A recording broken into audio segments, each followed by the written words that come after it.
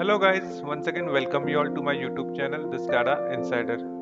So in previous tutorial, we have seen the licensing part of WinCC where we have calculated number of tags or depending upon different components, different drivers, protocols, how the licensing is varying. In today's session, we will see how to install WinCC SCADA software. So we will go with 3.19 version uh, for today's session. Uh, we will install uh, 3.19.1 software okay? So i will just share you some details regarding it. So here we can see the details. Uh, that is product version is 3.19.1 so what does it mean? It, it is like 3.19 version with patch 1 so there are many versions available for WinCC OA like it started long back uh, like 3.13 14 15 till 3.19 so previous versions like i can say 3.18 there was patch 1 to patch 15 available like 3.19.1 till uh, like 3.18.1 till 3.18.15 the size of the exe is 1.74 gb okay? Now today i am going to install this particular software in windows 10 pc so uh, you need to have this setup exe now click on run as uh, administrator.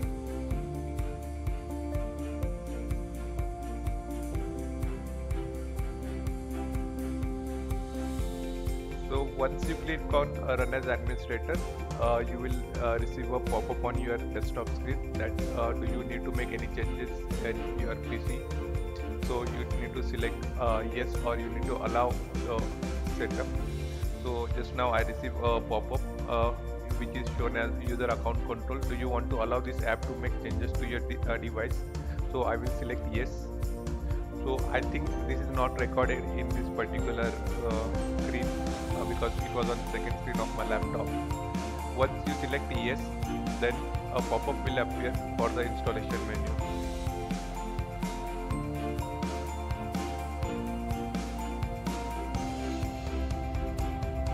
here we can see such kind of pop-up will appear. That is WinCC 3.19 installer where we have some different configurations available like language setting is available. You can select three different languages by default. Now you need to click on next button. On coming uh, to the second tab here we can see some setup options available with you. Like uh, by default uh, you will get the base selection base installation and influxdb executable so in previous versions influxdb executables were not available. Uh, from WinCC 3.19 you will get this option also. So this is influxdb available in this version. Now there are other uh, modules also like desktop ui s7 plus driver combinate video add-ons. So these are separate additional models that are optional. If you need to configure them in your uh, software you just need to select the particular option. Like what is the desktop UI it is basically a client PC so where you, need to have SCADA server and client uh, package so you can go with the desktop UI so if you have some another protocol like S7 plus driver is available for the devices that are communicating over S7 plus. Uh, the uh, devices that are communicating over Profinet you can select this particular driver. So the packages of this driver will be installed along with your software Video add-on is specially for CCTV related requirement where you need to capture the video or, or you need to show video on your uh, screens in SCADA. Okay, so you need to go with the video add-on packages. Then the example projects. So many of uh, us may be beginners. Uh, so when you click on example project, two default projects uh, will be provided by this particular software setup so that can be uh, used as a reference project for creating more projects API API is basically if you want to communicate with any third party devices over a REST API so you can go with API so API is nothing but application process interface so you can select the uh, API option here and then old version support. So what is old version support? In this case suppose if you have prepared uh, uh, already you have uh, any project of WinCC in previous versions like 3.18 or 3.17 or 3.16 so you need to select this option so this option will help you to migrate those old projects into new SCADA projects like in WinCC 3.19 okay until and unless this tick is not uh, uh, selected you cannot upgrade or migrate the previous versions to the new versions then coming to the documentation here we can see uh, there are three uh, languages are available in by default like German, English and Russian. So I will select uh, documentation in English. Then uh, for installation directory, so this is the software installation path. By default it is in C drives Siemens Automation WinCC OA 3.19 and project directory. So here we have selected the example projects. So these example projects will be available inside this part or we can say that they are installed in C WinCC OA project path. Okay so this part can be changed but you do not need to touch this part so this is default part please don't touch or don't change this part then at the right hand side uh, we can see uh, here as uh, like the overall size is 2.93 GB available okay so 2.93 GB must be available in C drive during the installation process.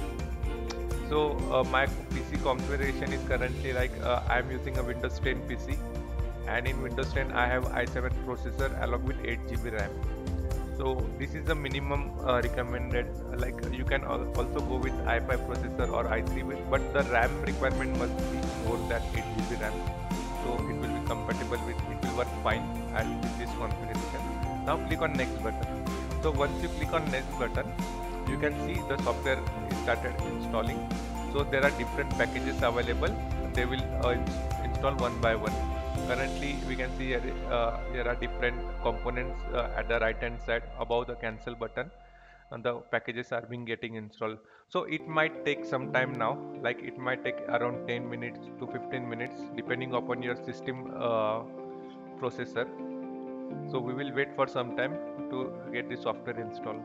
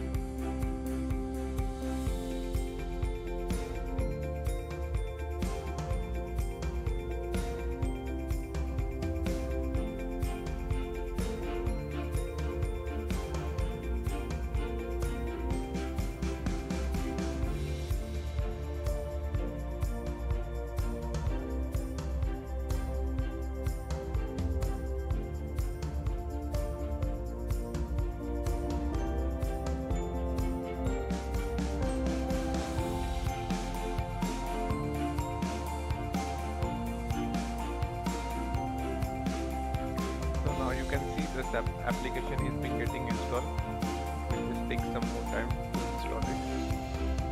So these are all the additional components uh, that are being getting installed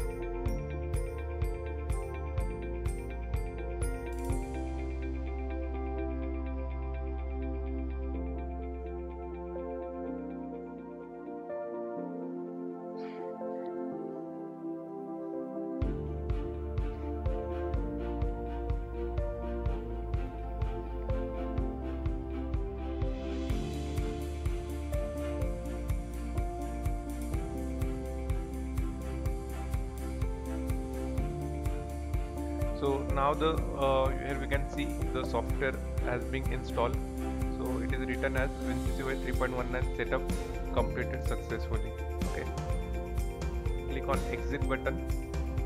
On exit button it may ask you to reboot the system because once the software is being installed you need to uh, reboot the system so that all the necessary files are being updated properly. After installation you can just go to the search bar and uh, you can search uh, like WinCC OA. So here uh, you will be able to see like WinCC project administration, then WinCC console. So this is confirming that the software is properly installed. Now in coming series we will see how to create WinCC projects. We will explore uh, the demo projects uh, which were already uh, provided by this software setup. Okay. And after this installation, uh, you can see the changes in your C drive. So there are two folders being created. That is Siemens folder.